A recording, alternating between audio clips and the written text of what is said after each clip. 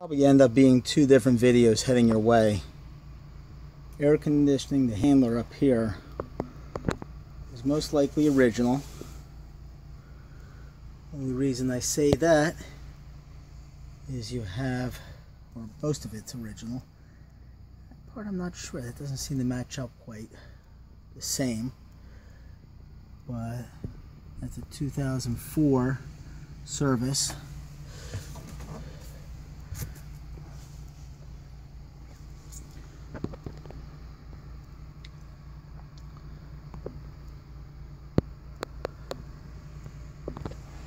And that way you can't see but it's all lines